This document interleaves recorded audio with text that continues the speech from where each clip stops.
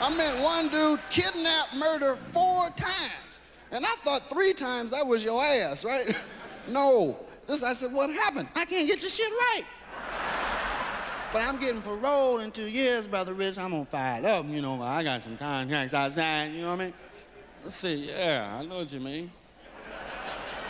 See, I want to know when this motherfucker getting out, who he gonna be with, and if I see him in my neighborhood, I'm just gonna shoot the motherfucker. Because I do not want to be kidnapped. Take no chance, no motherfucker calling up my wife talking about send some money. Because that's really my ass. well, don't fuck up the soup. That's what we're gonna bury him in.